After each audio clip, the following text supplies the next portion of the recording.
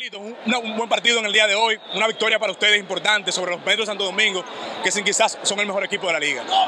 Como te digo, nosotros tuvimos una primera mitad muy, muy, muy errónea, tuvimos unos cuantos fallos en cuanto a la defensa, pero luego vinimos a la segunda mitad y retomamos el ritmo nosotros que era correr, jugar un poquito físico y al final pudimos salir por la puerta grande, gracias a Dios. Como tú estabas diciendo, la primera mitad fue un poco floja, quizás también de ustedes, de ti y de Juan Miguel Suárez y algunos jugadores de ustedes. ¿Qué pasó en esta primera mitad que no se vieron tan acoplados como en la segunda?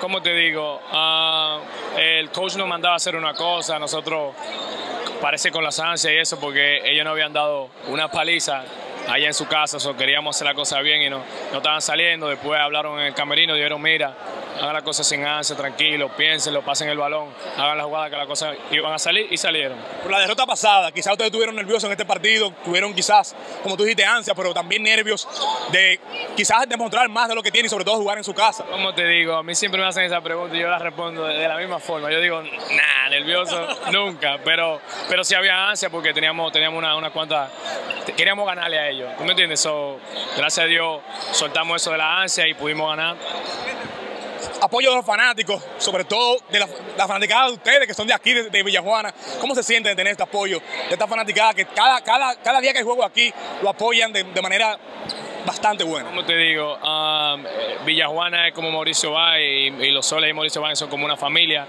Eh, la fanaticada del barrio buenísima. Eh, les exhorto que sigan viniendo a apoyarnos. Por ahí supe que hay gente de Herrera del Hoyo que nos están apoyando también y que vengan todos y que muchas gracias por el apoyo. Ya por último, ¿qué se puede esperar de ustedes? Ya que ahora mismo están en tercer lugar en, la, en el circuito sureste, pero que están ahora mismo encarrilados a los playoffs.